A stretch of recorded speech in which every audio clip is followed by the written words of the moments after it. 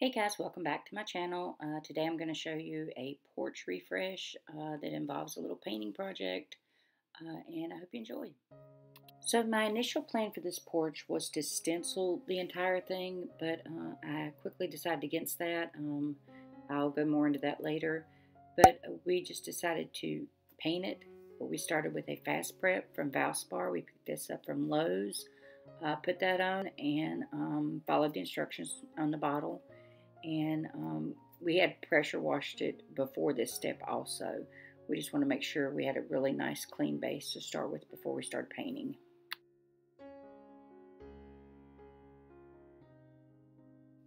So after a couple of days of the uh, porch drying, I put a prep on the porch. I taped off around the post um, and prepped it really well and then I came back in with a roller and rolled the porch um, with the prep. I just wanted to make sure that this step was really done because if it wasn't pressure washed correctly or enough, you know, prep applied, my paint would peel up and it would kind of be pointless at that point to do that. Uh, like I said, my initial plan was to stencil the porch, but after thinking on that, it was just going to be too busy. This is a very big porch and it does have a rug up under it um, normally when there's furniture and stuff on it. I use this Valspar uh, concrete paint. I got it in gray and uh, it is available at Lowe's or Home Depot, but I did get mine at Lowe's. Um, I put it in a, a paint tray with a disposable liner.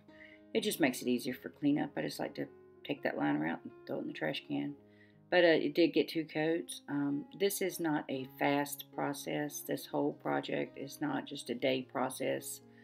Um, I'm sure others have done it that way, but I chose to take my time and let it all dry and everything and do it the right way. So that's why it did take me several days.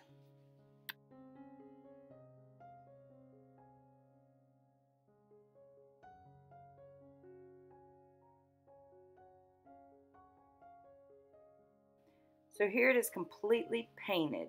This is um, the first coat on, and I still have to put another coat on, but I'm extremely happy with it so far at this point.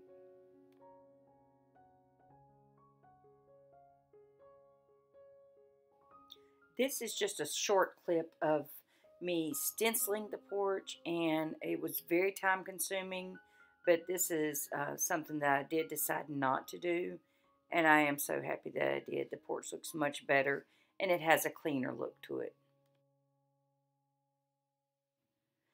Okay, so it is time to put all the furniture back up on the porch.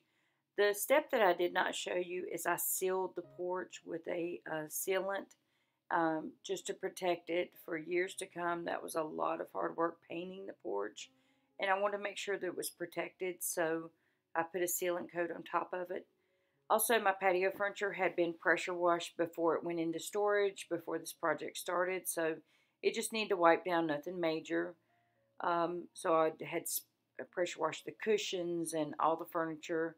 Uh, it is a covered porch, uh, and it doesn't get rain on it, but it does get, you know, dusty and stuff like that. But for the most part, it just needed to wipe down after coming out of storage. So I went and bought um, some new pillows and candles and things like that, and I was very excited to get all that back out here. But first, I had to wipe down the TV. Uh, it had been in the house, but uh, it was kind of dusty. So we do have a TV out here with a, a fire stick on it. We watch TV out here. We hang out. We have a Blackstone on one end of the porch, um, and then we have a lower porch on the bottom, um, or I call the patio, uh, and that's going to have to be the next one to be done because doing painting the top porch has just made the bottom patio stand out. So uh, that is next on the list of things to do on, while I'm off for the summer.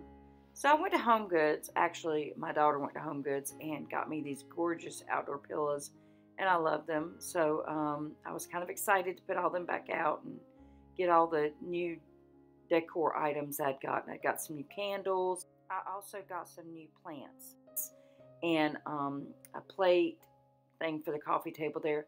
The table normally goes in front of the sofa, but um, the table that we had the TV on we decided not to put that back on the porch. It was just really big and bulky.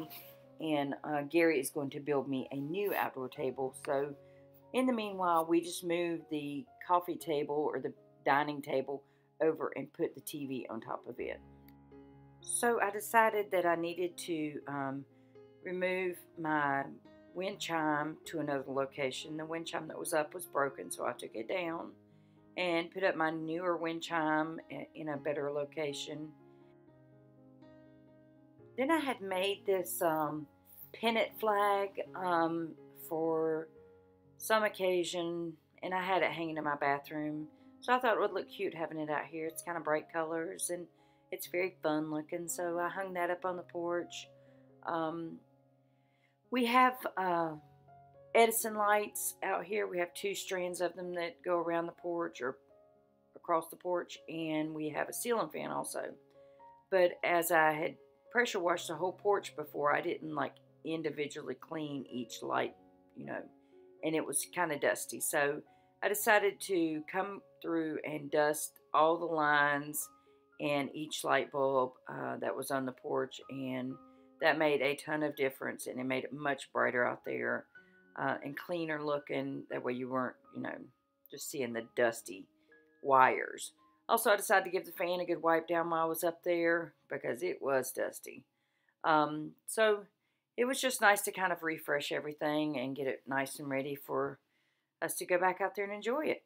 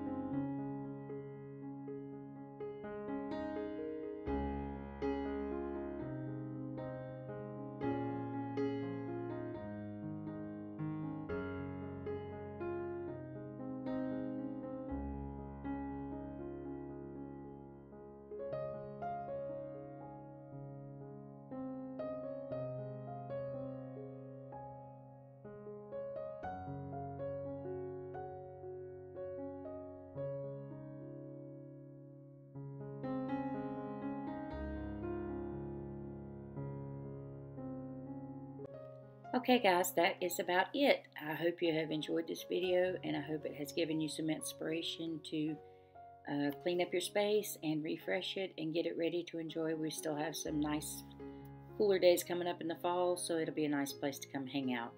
Also, I have a fountain um, project coming up soon, so stay tuned for that.